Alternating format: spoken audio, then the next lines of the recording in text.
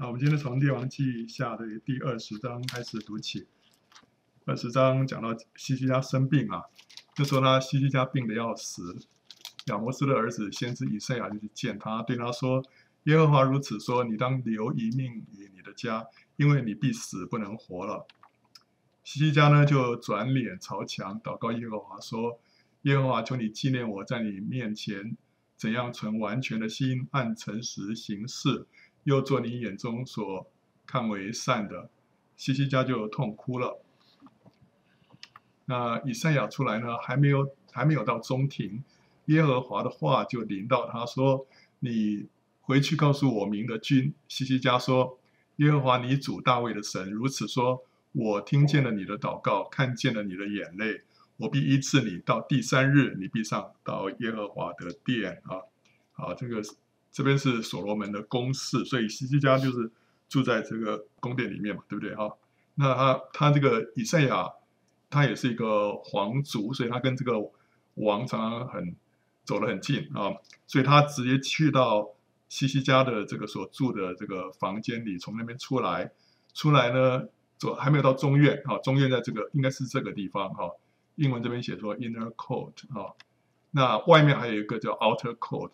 是大院哈，那上面这个是圣殿，底下这个是黎巴嫩灵宫啊，所以他等于是从刚刚从王的这个这个卧房啊走出来之后，还没有到外面的院子，神的话就临到他了哈，说神听到了他的这个西西家的祷告啊，所以神垂听了，他说我必加增你十五年的寿数，并且我要救你和这城脱离亚述王的手。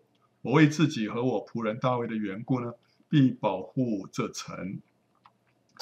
以赛亚说：“当取一块无花果饼来，人就取了来贴在窗上，王便痊愈了。”哎，为什么拿一块饼贴在窗上就会痊愈呢？它这个不是原文是，它是这样子啊。这个是什么？这个就是把无花果把它捣碎啊，调成这个膏状啊，调成像泥一样的，然后把它贴在患处，它是一个疮啊。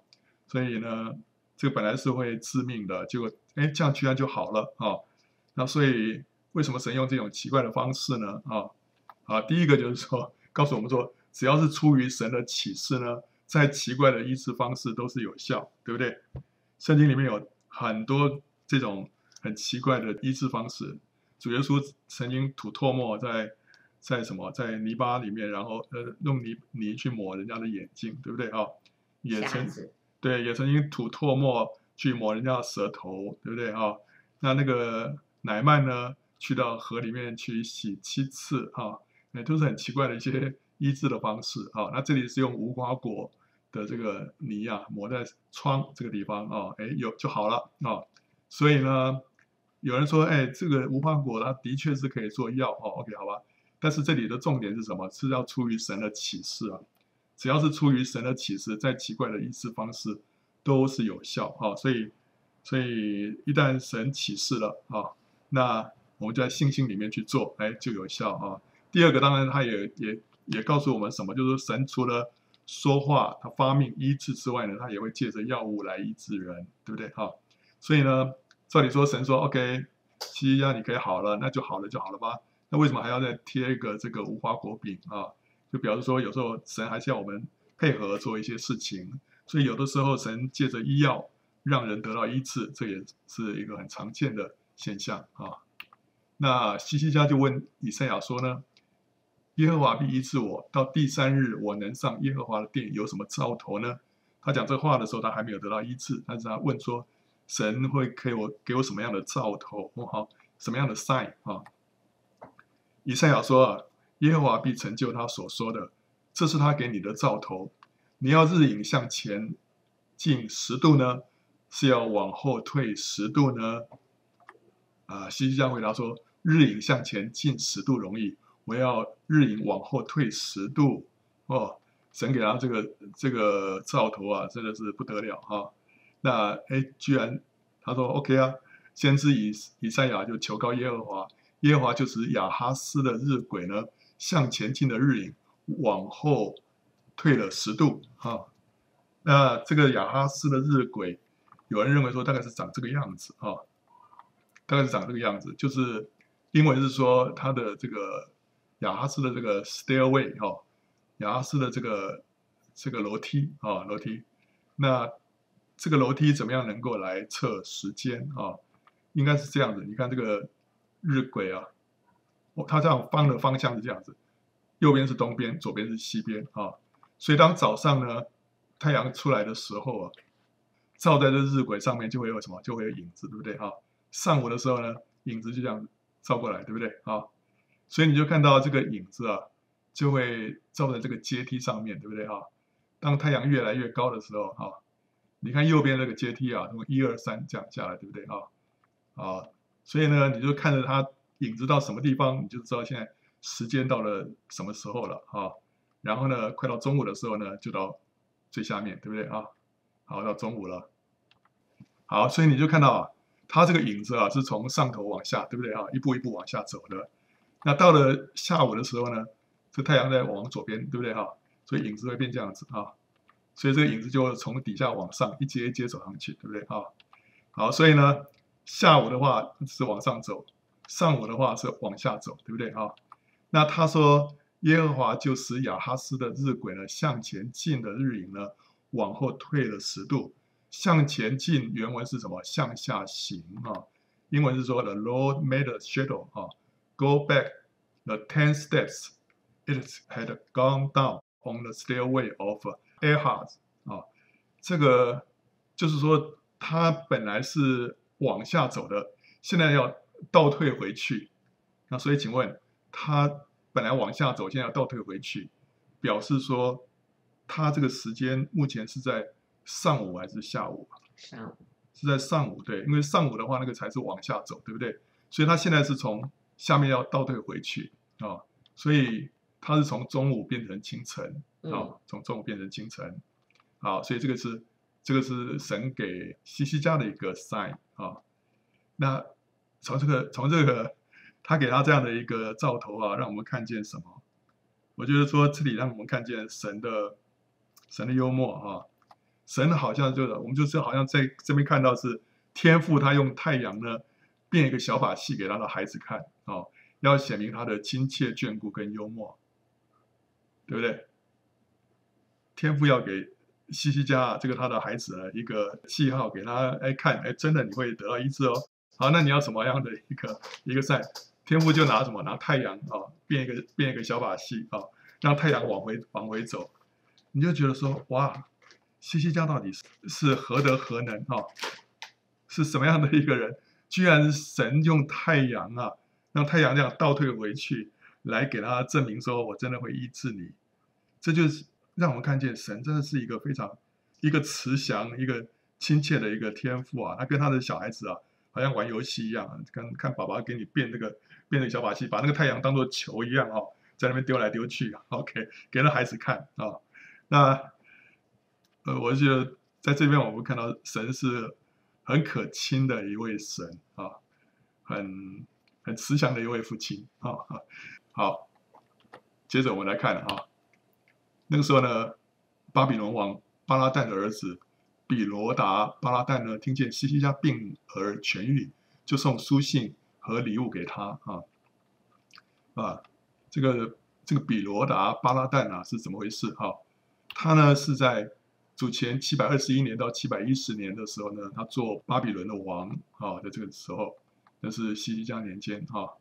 那之后呢，他在七百一十年就被亚述王萨尔根给废黜了啊。然后后来他到七百零三年到七百零二年呢，他又复位了。之后呢，他又被亚述王西拿基利给废黜。那那时候他就逃亡到以兰啊。好，那现在他来看西西家。到底在什么时候啊？到底在什么时候？那我们看看西西家做王的时间啊。他是在何西亚第三年的时候，西西家做王啊。那时候他二十五岁啊，在耶耶路撒冷做王二十九年。那他是这个亚述王希拿基利上来攻击他的时候呢，是在西西家的第十四年。从从历史上我们知道，亚述王上来攻击犹大。是在主前的七百零一年，所以呢，这个西西家就是西西家王的第十四年，所以西西家是从什么时候开始算起呢？往前推十四年，所以这个时间呢，我们可以知道，这这个时间应该是亚哈斯王崩的时候。那个时候西西家呢单独做王，所以他从他登基一直到他单独做王中间有一段时间呢，是他跟亚哈斯共同执政的啊。然后等到他单独做王之后呢，经过十四年，那时候西拿基利就来攻打他。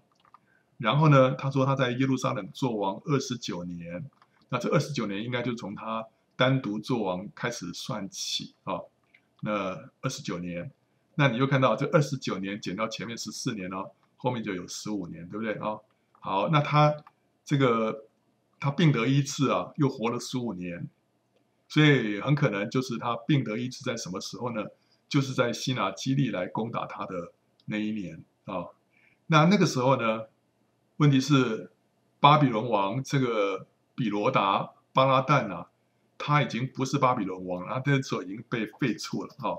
那时候他这个巴比伦已经被亚述攻占，所以他就逃到逃到以兰去了，对不对啊？但是呢，很有可能那时候他虽然已经被罢黜。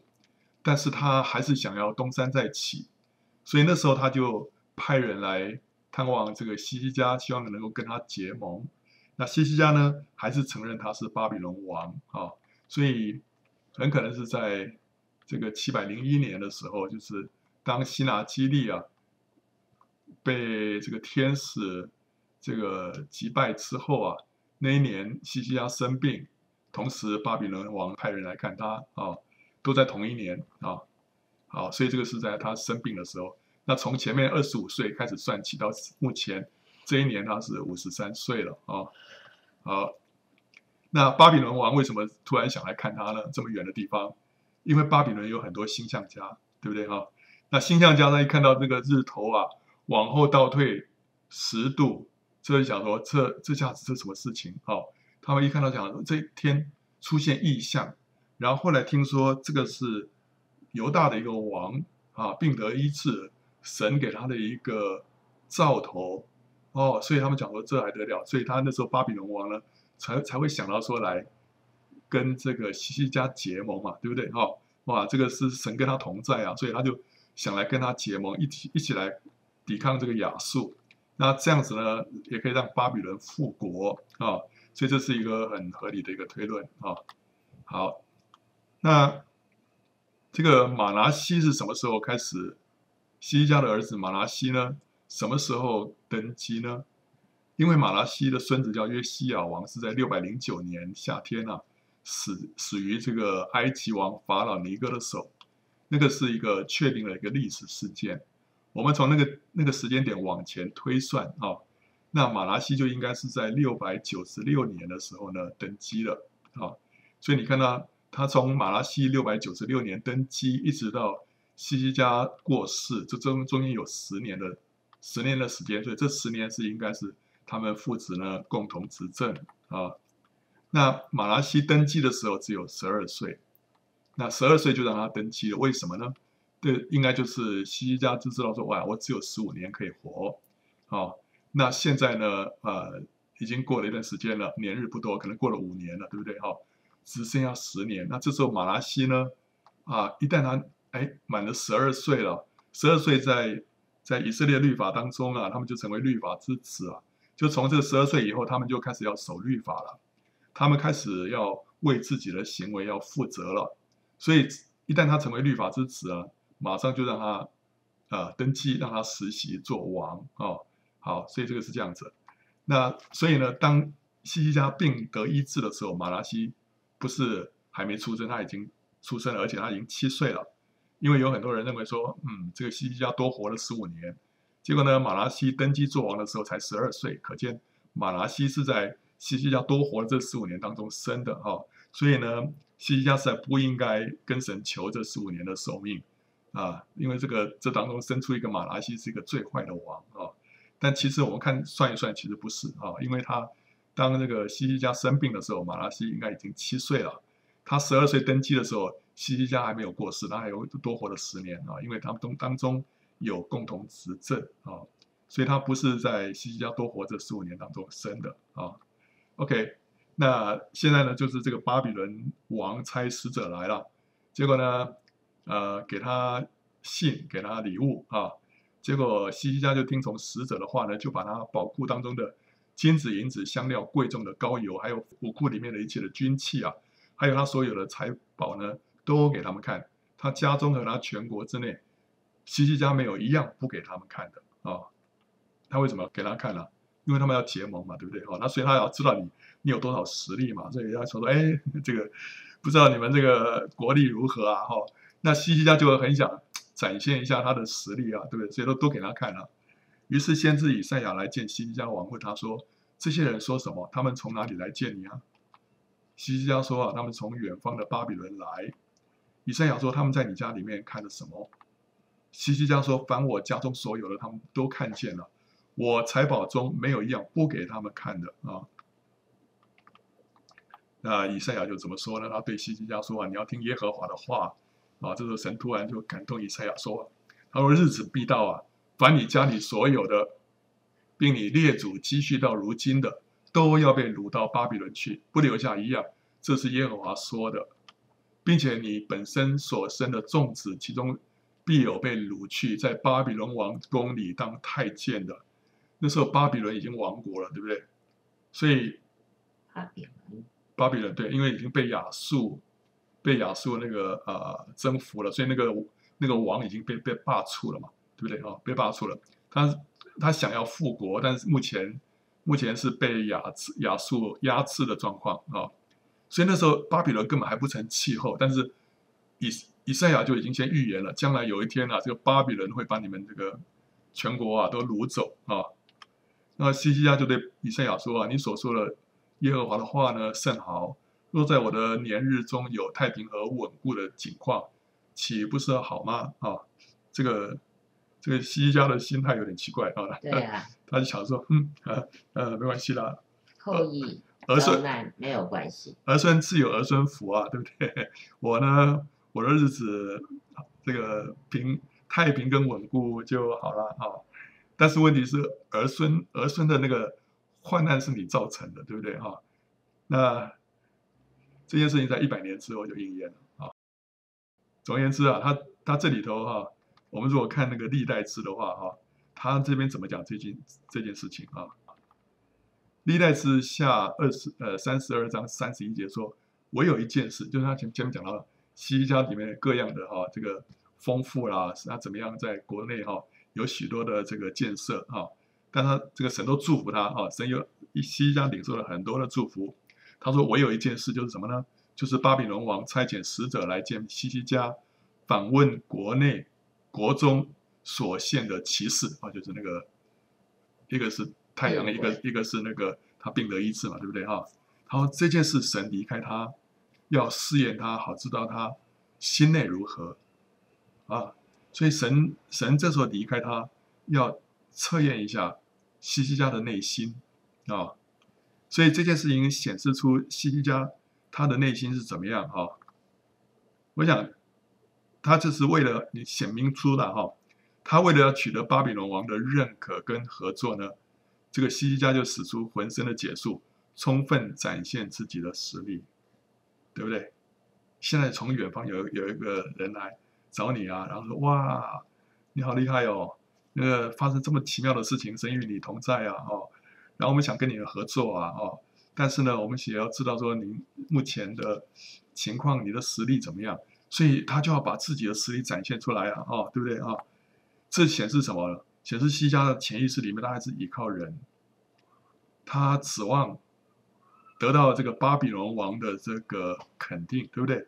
他觉得单单靠神好像还是不够，如果能够多有一个盟友，他更有把握来抵抗亚述，对不对？当你要讨人的喜悦的时候呢，你就会把这些啊这些东西呢，呃，展现给别人看啊。但是圣经上面说，诗篇一百一十八篇啊，八到九节说，投靠耶和华强势依赖人，投靠耶和华强势依赖王子啊。当我们对人有所求的时候啊，你会发现这个我们就会会做一些做一些动作啊。我们会会尽量的 promote 自己，好推销自己，对不对？哈，你就很在乎人家对你的感觉，对你的观感怎么样？因为怎么样？因为你对人家有所要求。但是一个人，中国中国人说无欲则刚。如果你对别人没有要求的话，你就不会那样子的希望他怎么样来肯定你，他怎么样来啊认可你，对不对？哦，但是你从西西家对巴比伦王的使者的反应，你就知道西西家非常的渴望得到这个使者的认可啊，所以他把他所有的最好的都展现出来。另外呢，这个也显示说西西家借由他炫耀他自己所拥有的要。博得从人来的荣耀，对不对？他他现在哇，我现在好蒙恩哦哈！这个人家说，哎呀，你病得医治啊！他说，对啊，感谢主啊，神祝福我啊，对不对哈？这都是神的恩典，没错。但是另外一方面呢，他就开始在在做见证的当中呢，在荣耀自己啊。有人很会这样子啊。一方面我们是在荣耀神，但是另外一方面借着这个机会荣耀自己。西西他就这样子啊，他借着这个机会，他要得到从人来的荣耀啊。但是耶利米书九章二十三节、二十四节说啊，耶和华如此说：智慧人不要因他的智慧夸口，勇士呢不要因他的勇力夸口，财主不要因他的财物夸口，夸口的却要因他有聪明，认识我是耶和华，又知道我喜悦在世上事情慈爱、公平和公义，以此夸口。这是耶和华说的。我们里面的最大的财富，不是我们所拥有的、眼睛看得见的那些东西。其实我们最大的财富是我们里面有主，我们认识神，这是我们最大的一个财富。那当你里面虚的时候呢，你才会拿外面东西来夸口，对不对？所以我们现在要紧的是，我们里面需要有一个宝贝，这个宝贝才是真正存到永恒的。所以呢，如果我们在夸耀我们所拥有的东西、所拥有的财富、头衔等等，这表示我们的生命啊。太幼稚啊！还有呢，这个哥林多前书四章七节说：“使你与人不同的是谁呢？你有什么不是领受的呢？若是领受的，为何自夸，仿佛不是领受的呢？”西西家所有的一切都是神赐给他的，所以呢，当我们领受神的这许多的祝福跟恩典的时候，我们要分外的小心，要低调。当我们什么时候一旦的骄傲起来，你会发现神的那个管教，或者是神的这个。呃，责罚就会下来，因为神就往往会把手啊稍微挪开一下，让我们受到一些打击，免得我们过于自高啊。所以，当我们在恩典当中，我们要格外的要保守自己，要紧紧的啊隐藏在主的里面啊，知道说这些都不是不是我该得的啊，这都是神所赐的啊。然后主耶稣说：“我不受从人来的荣耀，你们互相受荣耀，却不求求。”从独一之神来的荣耀，怎能信我呢？我们太太热衷于得到人的称赞跟肯定，但是主耶稣说，我们要怎么样？要求从独一之神来的荣耀啊！神肯定我们，这是最重要的一件事情啊！当神肯定了，人肯不肯定就不重要啊！所以呢，不要呃，我们不要汲汲营营的去。去要讨好别人啊，然后盼望别人对我们这个呃很另眼相看啊，不需要，这都不需要。我们要求从独一之神来的荣耀。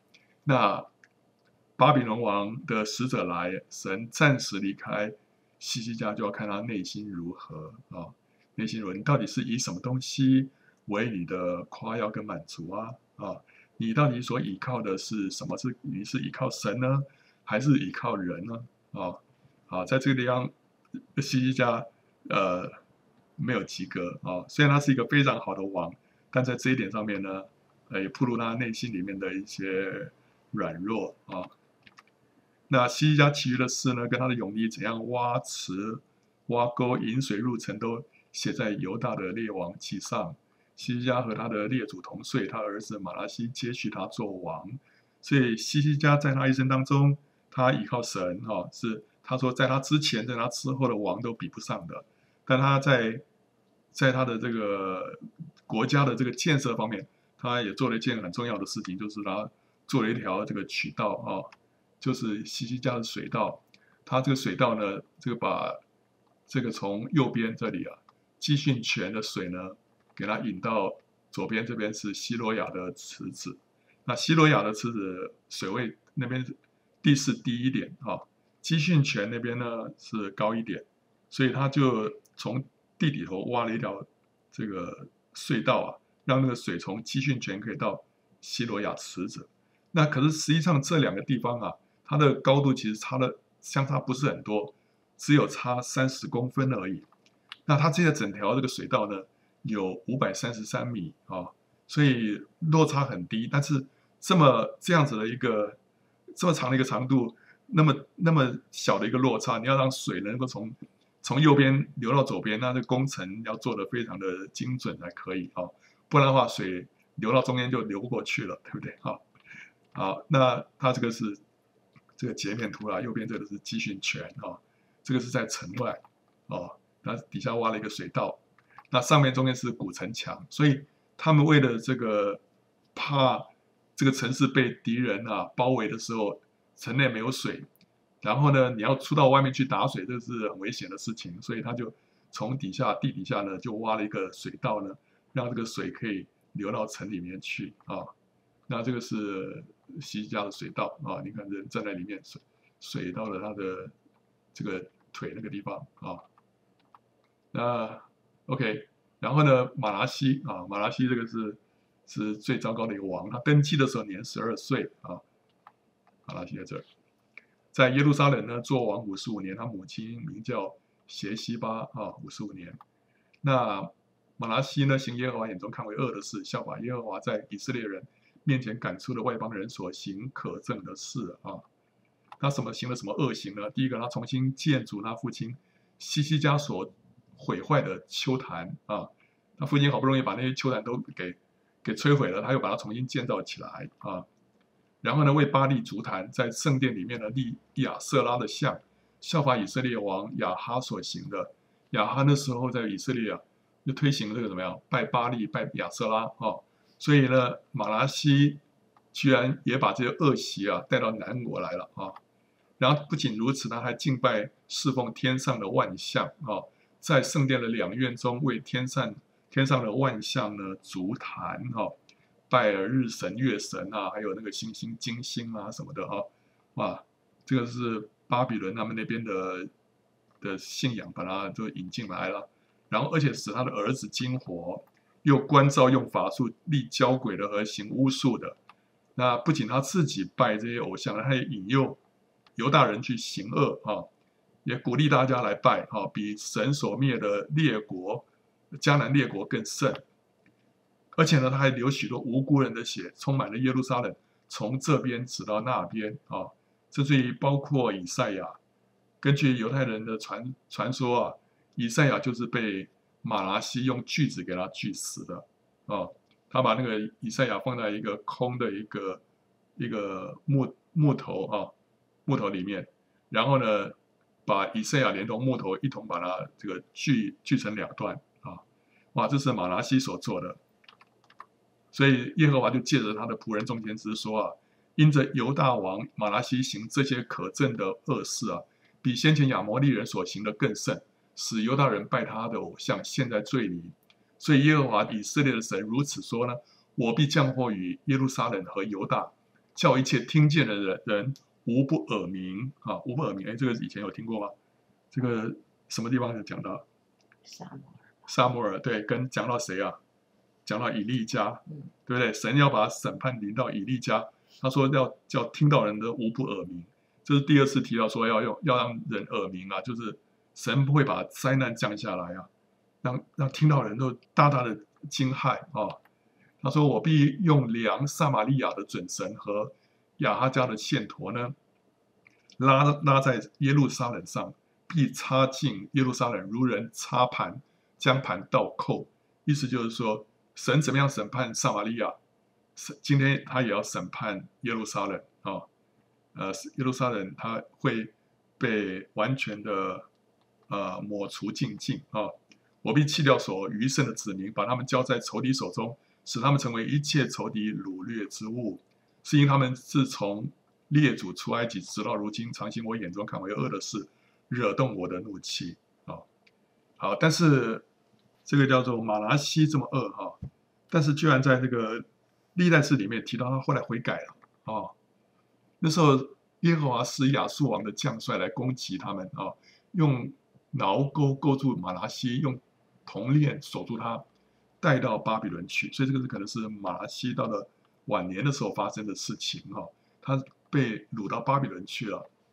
那时候是亚述班尼帕啊做亚述王，那这个马拉西在极难的时候呢，就恳求耶和华他的神，并且在他列祖的神面前极其自卑啊。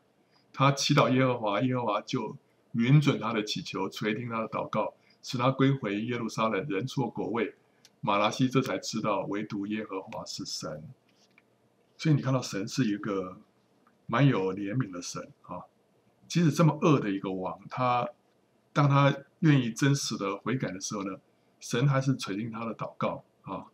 所以这时候他回到耶路撒冷之后，他在他又做了一些工程啊，做了一些工程。那更要紧的，他除掉外邦人的神像与耶和华殿中的偶像，又将他在呃耶和华殿的山上和耶路撒冷所筑的各坛都拆毁，抛在城外啊。所以，哎，他居然还做了这些事情，这让人家非常，就是说，这个真的是不可思议，对不对啊？这么大的改变，但是问题是，too late 啊！他这些举动呢，已经没办法挽回犹大的这个命运了啊！他重修耶和华的祭坛，在坛上献平安祭、感谢祭，吩咐犹大人侍奉耶和华以色列的神，百姓人却仍在秋坛上献祭，只献给耶和华他们的神，所以他们还是。秋坛还是在，虽然只是是用来献祭给耶和华的啊。那后来呢？这个马拉西死了之后，亚门啊，他儿子亚门登基，年二十二岁啊，在这儿是在耶路撒冷做王两年啊。那他行耶和华眼中看为恶的事，跟他的父亲马拉西所行的一样，行他父亲一切所行的啊。那个历代是说，他行这些恶，他。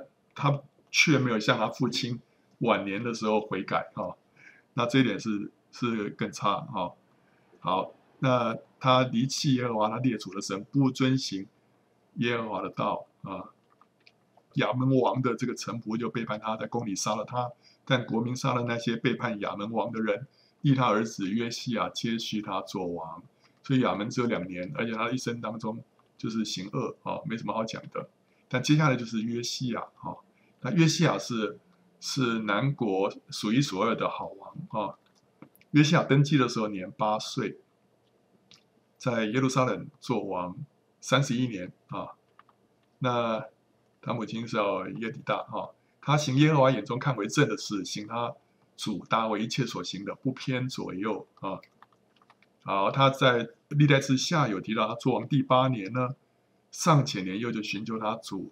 大卫的神啊，那时候他第八年就是他他八岁登基嘛，所以那时候十六岁，然后到了第十二年的时候啊，那时候他二十岁，他就洁净犹大和耶路撒冷，除掉丘坛木偶雕刻的像和铸造的像啊，然后呢，二十六岁的时候，就是第十八年的时候，他整修这个圣殿啊，这是我们现在看到的。他说他十八年的时候呢。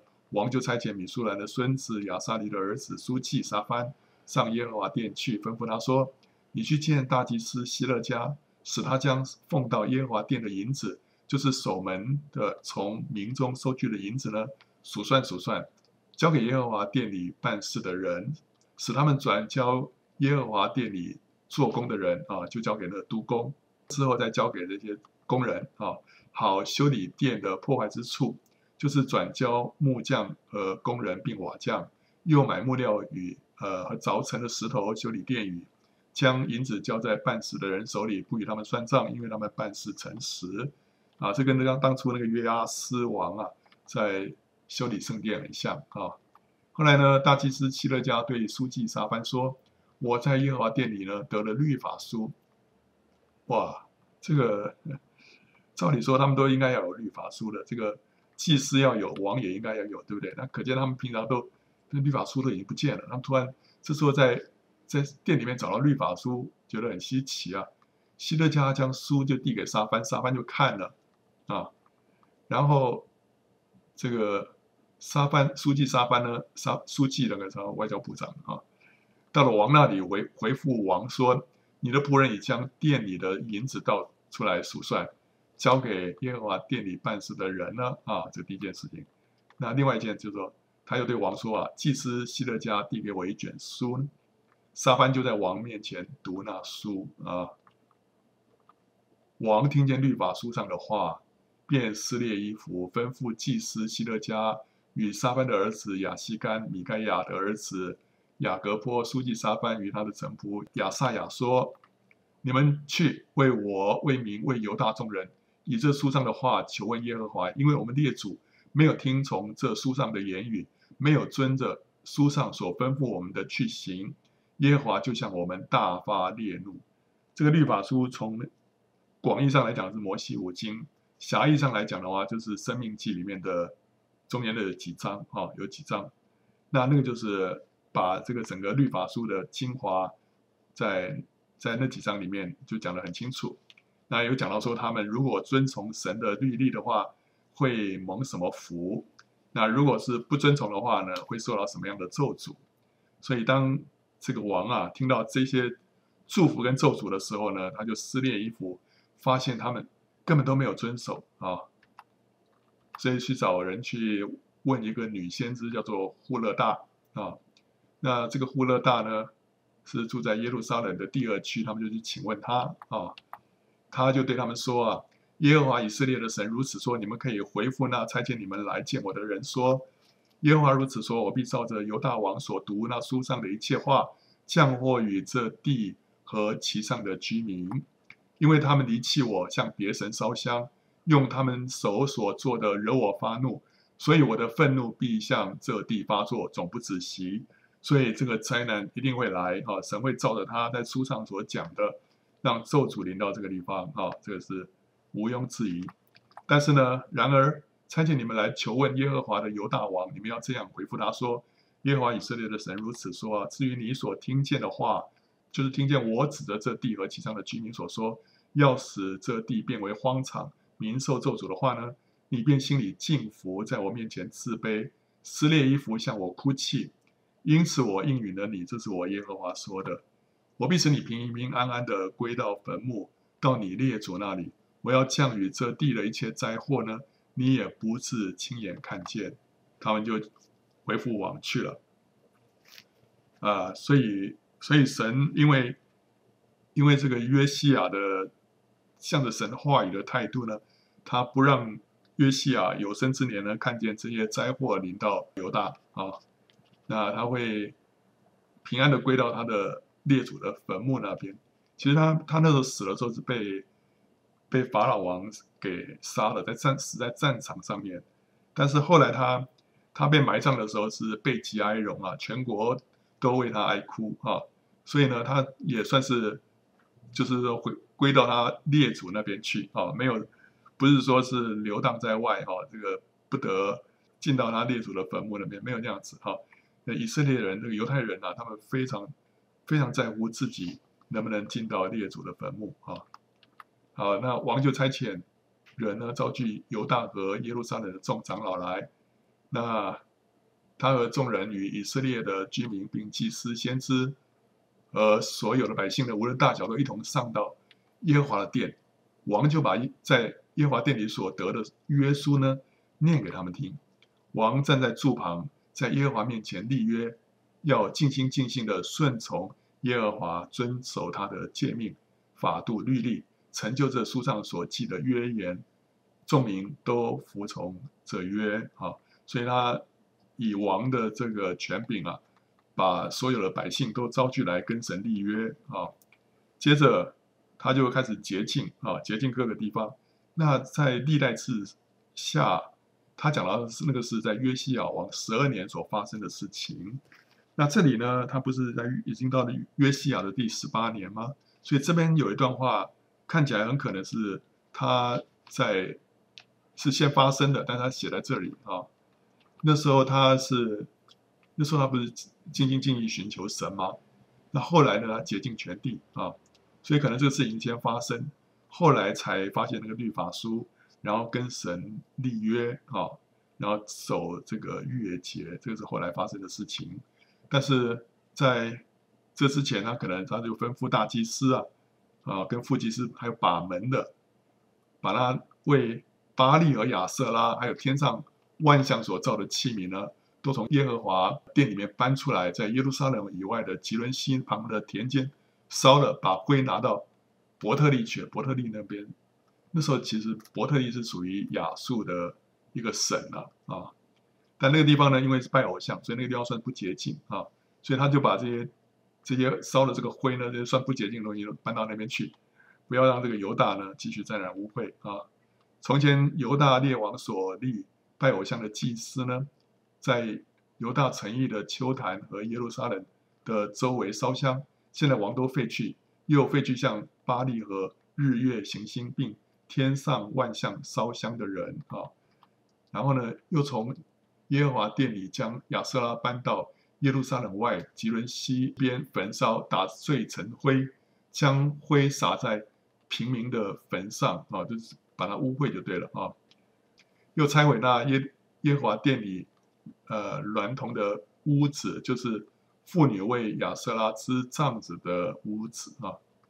然后，并且从犹大的诚意带众祭司来污秽祭司烧香的秋坛，从加巴走到别斯巴啊，加巴是犹大的北边啊，别斯巴是南边的啊。又拆毁城门旁的秋坛，这秋坛在义宰约书亚门边进城门的左边。只是秋坛的祭司不登耶路撒冷耶和华的坛，只在他们。弟兄当中吃无效饼，那些曾经在秋坛来服侍的祭司呢，现在啊不能在神的圣殿里面服侍啊。那但是呢，他们还是可以吃无效饼啊。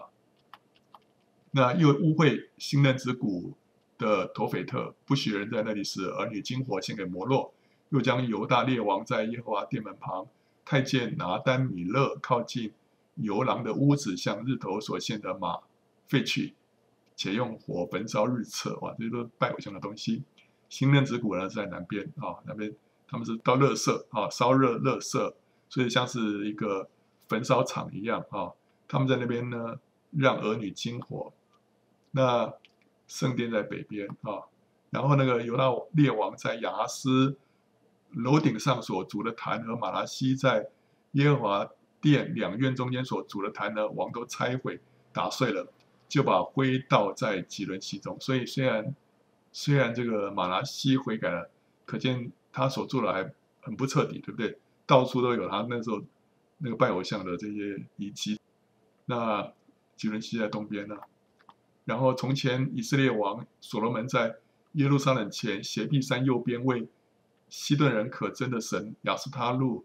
摩押人可憎的神基摩，亚门人可憎的神弥勒公所筑的丘坛，王都污秽了，又打碎柱像，砍下木偶，将人的骨头充满那地方，把它通通污秽了啊！好，东耶耶路撒冷东边是橄榄山，橄榄山有分三个山头，呃，南边那个山头叫斜壁山啊。他说斜壁山的右边，右边就是指南边了，所以斜壁山的南边啊，有一些偶像丘坛啊，他说把它。给摧毁了。他将伯特利的坛呢，就叫以色列人现在罪里尼巴的儿子耶罗波安所住的那坛呢，都拆毁焚烧，打碎成灰，并焚烧了亚瑟拉。他不仅在犹大全地啊洁净，而且他现在捞过界，到了犹大以外啊，到了伯特利了，对不对？伯特利本来是属于北国以色列的，这时候是亚述的一个省份了，他都到那边去啊。把那边的那个坛呐，给它拆毁啊！那个坛就是那时候拜金牛犊的那个坛啊。那约西亚就回头看见山上的坟墓呢，就打发人将坟墓里的骸骨取出来，烧在坛上，污秽的坛啊，让人不能够再用这个坛了。正如从前呢，神人宣传耶和华的话啊，以前那个有个神人，对不对？犹大的神人小先知，哎，那个先知呢，就是去对那个耶罗波安发预言啊。他说有一个神人奉耶和华命，从犹大来到伯特利耶罗波安正站在那坛旁呢，要烧香。神人就奉耶和华的命向坛呼叫说：“坛啊坛啊，耶和华如此说，大卫家里必生一个儿子，名叫什么？约西亚，哇，那时候在几百年前就把约西亚的名字讲出来了哈。他必将秋台的祭司，就是在你上面烧香的，杀在你上面；你人的骨头呢，也必烧在你上面。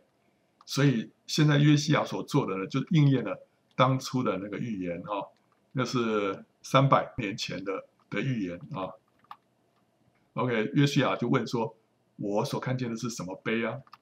那城里的人回答说：“先前有神人从犹大来，预先说王现在向伯特利坛所行的事，这就是他的墓碑。”啊，所以约西亚就说：“由他把不要挪移他的骸骨，他们就不动他的骸骨，也不动由撒玛利亚来的那先知的骸骨。其实那个撒玛利亚来的先知就是那个伯特利的先知啊，老先知。哎，然后呢，从前以色列诸王啊，在撒玛利亚的城邑建筑丘坛的殿，惹动耶和华的怒气。现在约西亚都废去了，就如他在伯特利所行的一般，又将丘坛的祭司呢都杀在坛上。”并在坛上烧人的骨头，就回耶路撒冷去了啊！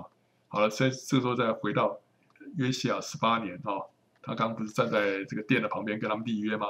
我觉得跟这个这个地方接下来比较衔接。他说：“王就吩咐众民说：你们当照这约书上所写的，向耶和华的你们的神呢守月节啊！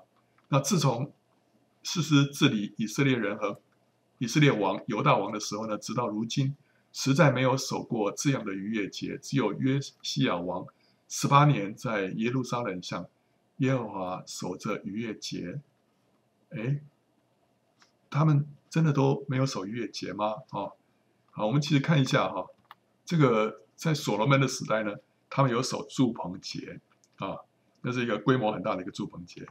后来到西西家的时候有守逾越节啊，不过那个时候守的逾越节是在二月的十四号。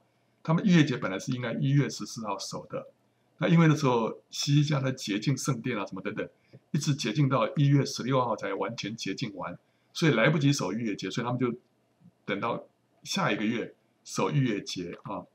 那那时候他们那个历代史说啊，自从以色列王大卫的儿子所罗门的时候呢，在耶路撒冷没有这样的喜乐，所以当他们守这个节的时候呢，神把那个喜乐放在他们的当中。那现在约西亚呢，他也是守逾越节，是是在一月十四日，所以他说从四师治理以色列人和以色列王犹大王的时候，直到如今呢，实在没有守过这样的逾越节啊。那后来所罗巴伯的时候，他们被掳归回，他们守祝棚节啊，这个是在圣经里面记载了他们守节的一些历史啊。然后以斯拉跟尼西米的时候，他们又守了一个祝棚节。那时候他说，从嫩的儿子约书亚子的时候，直到这日，以色列人没有这样行啊。好，所以你看到历史上，虽然神有吩咐他们要守耶和华的节期，但实际上他们并没有那么忠实的去守这个节期。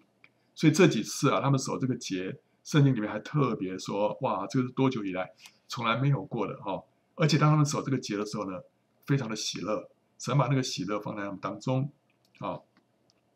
好，那关于这个守节了，我就想到说，最近呢，我这个有收到网友啊，在问一些关于守这个节期的问题，那我也给他回答哈。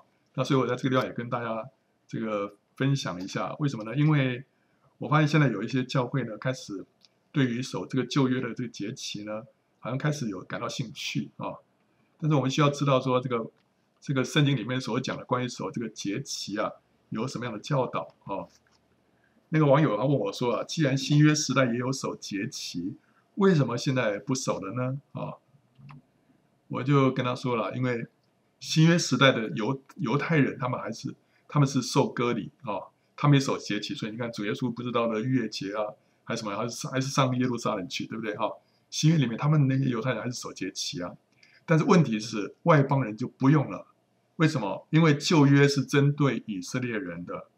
神跟外邦人，他们立跟外邦人所立的是新约，所以外邦人从来就不在旧约之下，因此不需要守节期，这大家可以理解吧？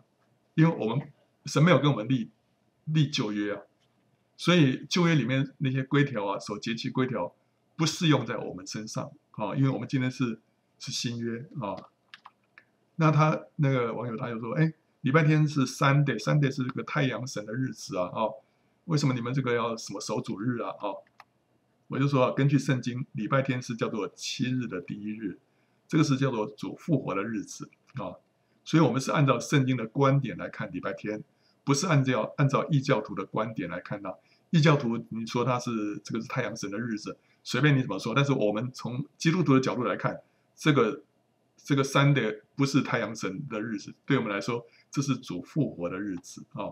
好，所以不是因为说你说他是太阳神的日子，所以我这天我就我就不去不去敬拜神，因为这个敬拜神会跟太阳神混在一起，不是这么一回事啊。我们是从圣经的观点来看这个日子。然后他说，圣经里面哪里说？要在耶稣复活的日子去守礼拜，呃，做礼拜呢？他说啊，从创世纪就就制定这个就有安息日，后来成为十诫里面的这个安息日。哈，那为什么我们现在不守这个安息日呢？反而去什么礼拜天去聚会呢？啊，现在真的是有好好多人说应该在安息日聚会才对啊。好，那我就不说了哈，在耶稣的复活的日子，就礼拜天聚会礼拜。这个不是圣经的规定啊，这只是起初教会的做法。因为从使徒行传二十章第七节，还有更多前书十六章第二节里面都看到，使徒行传二十章第七节讲到什么？那时候保罗去去到一个地方叫特罗亚，那时候他要他要准备要起行，那那天是是一个主日，他说他是一个七日的第一日，他们就薄饼聚会啊。那哥林多前书保罗是说。每逢七日的第一日，你们要收集那个捐献啊，到时候他们要拿去耶路撒冷，所以这个地方都看到他们是在七日的第一日聚会啊。然后呢，后人就跟着做。其实基督徒要在哪一天礼拜神、敬拜神都可以，因为呢，在乎灵不在乎仪文，所以你是不是一定要在礼拜天聚会啊？不一定啊，礼拜六可不可以？可以啊，礼拜五呢也可以啊。对不对？哪一天都可以，好，因为要紧的是在乎灵，不是在乎那个疑文，不是说非哪一天不可，啊，因为我们现在已经在新约了。保罗说，有人看这日比那日强，就是说，呃，这个安息日比较特别哦，哦，那有人看日日都一样，就每一天都一样，好，OK，所以保罗说没关系啊，只是个人心里的意见要坚定。守日的人是为主守的，吃的人是为主吃的，因为他感谢神；不吃的人也是为主不吃的，也感谢神。所以呢，你要在哪一天敬拜神，你只要心里头想好了就好了，哈，不要跟别人在那边啊，还那个辩论了。对，那关于守安息日啊，为什么我们不守安息日？因为安息日也是旧约的条例啊。保罗说啊，你们谨守日子，什么叫谨守日子啊？就守安息日了，哈。还有月份啊，还有节气，还有年份啊！我为你们害怕，唯恐我在你们身上是枉费了功夫。保罗说讲这个话是对外邦人说的，所以外邦人如果今天回去守安息日的话，就是谨守日子啊；如果去守节期的话呢，就是谨守节期啊。这些保罗说：“我为你们害怕，唯恐为在你们身上是枉费的功夫。”就说你们。你们没有抓到福音的精髓啊！不是外邦人，是外邦的基督徒。啊，对了，外邦的基督徒了啊！外邦的基督徒不需要守这这些东西，对不对啊？神的国在乎公义、平安和圣灵中的喜乐。如果我们专注在遗文规条当中，就没有抓住福音的精髓了。神的神的国在乎公义、平安跟圣灵中的喜。就是说，我们要更加的像耶稣，这是神神的国要降临在我们身上，神要在我们身上掌权，对不对？那如果我们这边说你哪一天守了这个什么日子啊，这个就不是福音的精髓啊。好了，那他那个 那个网友说啊，他说：“哎，使徒行传二十章第七节，那个保罗在特罗亚聚会那个破饼聚会，他说那是一个复活节啊，复活节是每年一次啊，不是每周都有啊，哦。”还有呢，他那个说每每主日呃每个礼拜呃这个七日第一日要奉献，他说那只是让他们在那天按照收入准备的呃捐款，是为着耶路撒冷教会的特殊捐款，不是守礼拜的意思啊啊啊这个这个地方就比较容易解释了，因为二十章第七节肯定不是复活节，因为二十章六节已经过了除孝的日子啊，除孝的日子是什么？就是逾越节之后的那七天啊。然后又坐船坐了五天，在特洛亚又住了七天，最后一天就碰到礼拜天才破饼聚会，所以那时候已经离逾越节已经超过差不多二十天了。那主耶稣是在逾越节之后第三天就复活，所以那天呢，第那天是绝对是一个普通的星期天哈。他们有例行的破饼聚会，所以那个不是一个复活节，这可以肯定。然后另外他们每个礼七日第一日呢收奉献，就是什么？他们就是要趁着聚会的时候收奉献嘛，对不对？他不可能每个礼拜天专程跑来收个呃跑来奉献之后就回家哦，对不对？如果说 OK 好啊，你们每逢礼拜五呢，就是就要收奉献。那为什么礼拜五？礼拜五如果没有聚会的话，礼拜五收奉献就没有意思啊。如果礼拜天没有聚会，你跑去收。收奉献这也没有意思，对，肯定就是礼拜天聚会的啊。好，那后来啊，这个他说啊，保罗呢，这个说这个什么，讲到来书四章十节，保罗是指着他们固守旧约律法的节期，但是新约的节期呢需要遵守的，为不是什么节期律法都不遵守啊，保罗自己和耶稣都遵守安息日啊，啊，然后呢，这个哥林多前书第九章。可以知道，保罗虽然不守旧约摩西的律法，但是也遵守了新约的律基督律法了。希伯来书呢，可以知道律法没有废除，只是更改了而已啊。圣经里面有两种律法，OK 啊，这边他引用那个圣经其实有一些不是很准确啊啊。总而言之，我是这样说了哈，律法可以分为两种，一个是道德方面的律法，就像是爱人如己，不可以奸淫啊，这属于道德方面的；还有一个礼仪方面的，就像献祭。守安息日跟节期的礼仪方面的道德方面的律法呢？今天我们是靠着圣灵可以活出一个更高的标准。礼仪方面的律法呢，则是因为基督的来到而使这个隐而成为实际啊，成为什么实际呢？就基督成为了真的祭物啊，他是那个真的祭司。那我们现在呢是进入一个真的安息啊，所以我们现在不是不需要再拘泥啊拘守这些规条了啊。保罗呢，跟耶稣他守安息日，因为才说他们是犹太人，旧约是给犹太人的，但是保罗绝对没有要求外邦的门徒守安息日啊，因为这是违反福音的精神，所以他才会对那些要求外邦信徒守日子啊、受受割礼啊、守节期的那些假使徒啊，深恶痛绝啊。神拯救我们是要我们生命被改变，彰显他的形象，成为他的众子。守安息日跟节期不会让我们的生命变得更像耶稣啊！啊，最后他说了：“那你们为什么还每呃星期天守守这个主日呢？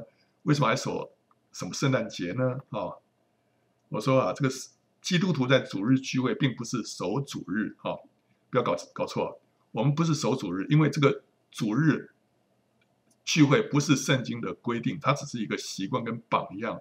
我们可以在任何一天礼拜聚会都不算犯罪，守安息日的不一样，因为那是就业里面那是一个规定，不守就是什么犯罪。所以基督徒不是用守主日来代替守安息日，这两者的意义是不一样的啊。那圣诞节呢不用说了，它不是圣经里面规定的节日，时间点也不对，它是异教的迷信，来自异教的迷信啊。所以我呢，我们也从来没有教大家要守圣诞节啊。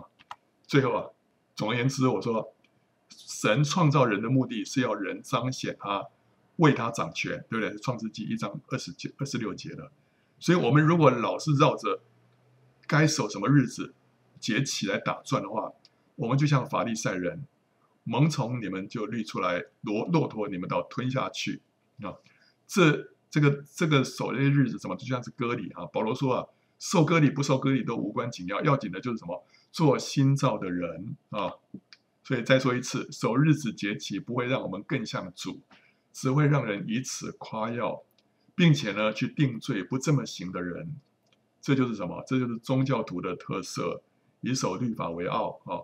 这已经偏离福音的精神很远了啊。OK，所以因为刚刚提到说他们守那个月节啊，啊，他说从来没有。很久没这样守了，大家都很喜乐，神祝福他们这样子，没错。但是问问问题是，今天我们在新约里面，我们要在这个实际里面，逾越节是讲什么？逾越节讲到说，我们需要重生得救，主耶稣的宝血洁净了我们，对不对？五旬节呢，我们需要被圣灵充满，对不对？所以当我们被圣灵充满，我们就经历到五旬节的实际了，今天不是我们五旬节还在那边拿两个饼在那边献祭，那就不对了。我们要被圣灵充满，这才才是那个实际啊。吹角节呢？吹角节哦，他说我吹角不是我们吹角节是要等要等候我们要被提啊。末次号筒吹响的时候，我们要被提啊。然后这个祝棚节呢，我们要进到进到这个什么千年国度当中啊，与基督一同掌权啊，与他同住啊，做王掌权啊。好，那那还还我还有个那个赎赎罪日呢，是那天是以色列人全家悔改啊，所以这些节期它有属灵的含义。今天我们到了新约，我们要抓住这个属灵的含义，不要只是在外表的那个仪式上面抓抓住啊。所以好，如果有人说，哎，你们为什么这个不守安息日啊？啊，大家需要有概念，守安息日不会让我们更像耶稣啊，像耶稣，这是神在我们身上的旨意啊。我们要彰显神，神的种子要显现出来，但是守守安息日不会让你变成神的宗子啊！好了，所以凡犹大国和耶路撒冷所有交鬼的、行巫术的、与家中的神像和偶像，并一切可憎之物，约西亚尽都除掉，成就了祭司希勒家在耶和华殿里所得律法书上所写的话。在约西亚以前呢，没有王向他尽心尽性尽力的。归向耶和华，遵行摩西的一切律法，在他以后也没有兴起一个王像他啊。然而耶和华向犹大所发猛烈的怒气，仍不止息，是因马拉西诸事惹动他哇。马拉西所犯的罪，让这个犹大国啊，呃，一直往下冲啊，没有办法回头了。耶和华说：“我必将犹大人从我面前赶出，如同赶出以色列人一般。”我必弃掉我从前所选择的这城耶路撒冷和我所说立我名的殿。